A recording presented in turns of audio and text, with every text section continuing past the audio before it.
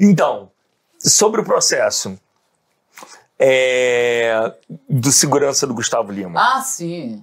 Você falou que você chamou a sua, a sua- houve um problema entre uma fã e um seu segurança. Você chamou os dois dentro do camarim. Algo que me remete a esse episódio. É Ah, sim. Não, Você tá pode, entendendo? pode, pode fazer o link. link. O que aconteceu é o que todo mundo sabe, né? O quê? Eu acho que é o colega, eu, o, o, o, na, na realidade, eu fui ver o meu colega, Gustavo. Gustavo, Gustavo Lima, porque eu gosto dele. Sim. É, Você ainda gosta dele muito? é, não, hoje decepcionada, então quebrou o, o- cristal. né? Por causa Cristal. desse Por causa episódio. desse episódio. E aí eu fui, realmente eu fui, isso aí já está já tá dito, redito, estamos no meio de um processo. Ah, não acabou não? Não, acabou não, não. A gente tivesse que. Não, acabou não. Vamos seguir. Porque se eu. é, é, é, Que não existe uma conciliação. Não, não existe, porque é o seguinte, eu não admito o que ele fez comigo. Ele bateu em mim de uma forma muito, muito ruim, chorei muito, fiquei muito mal, fui para a rede social. Talvez errei, talvez. Mas o- o- qual a defesa que eu tinha ali? Só tinha eu. Eu não tinha ninguém, eu estava no habitat do Gustavo Lima. Um cara me maltratando, um cara metendo na mão, dizendo aqui você não entra. Peraí, e minutos antes, eu tenho testemunha, eu estava ligando para a doutora Fanny, olha, eu estou falando o nome da médica. Doutora Fanny do, do, do Albert Einstein, não, do Sírio Libanês, dizendo, doutora, o Gustavo Lima está passando mal, qualquer coisa, a senhora me manda uma ambulância também?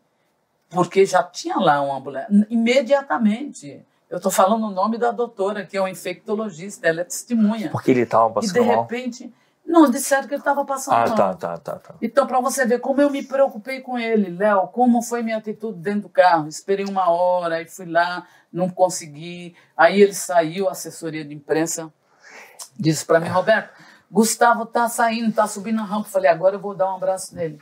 De novo, brecada. Então aquilo me humilhou muito. Mas eu acho sabe? que deve ter sido alguma fase, porque o Gustavo não é assim. Pois é, mas até hoje o Gustavo não pegou um telefone para dizer, colega, desculpa, hein? É isso que me estranhou. Que é, eu também tô me estranhando isso. Me Que estranhou. não é. O Gustavo não é esse cara. Pois é, Não é, é esse cara. isso que me estranhou. A sua assessora é assessora dele também. É, a minha- E- a e minha ela sabe assessora. disso. Então, isso me causou um estranhamento terrível, porque se isso acontece com o meu colega, eu já tinha no outro dia ligado: olha, desculpa, ou ele estava nervoso, aconteceu alguma coisa, mas eu, de artista para artista, de colega para colega, eu usaria dessa delicadeza, dessa elegância, entendeu? E até hoje nada, mas também tudo bem, continuo aplaudindo Mas ele. esse Quero processo- Deus proteja ele. Você, quem, quem, quem inicialmente foi condenado e continua esse processo?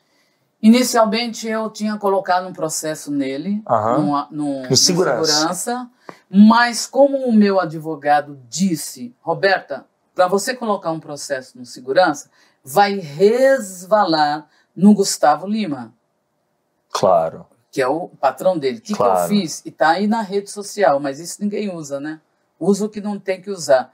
Eu disse, então, olha, eu estou aqui dizendo que estou retirando o processo, porque eu não gostaria que resvalasse no meu colega, que é o Gustavo Lima. Então, eu estou retirando. Depois de 10 dias, o cara mete o processo. O segurança. Mas não tem problema. Eu continuo aplaudindo, eu gosto da voz dele.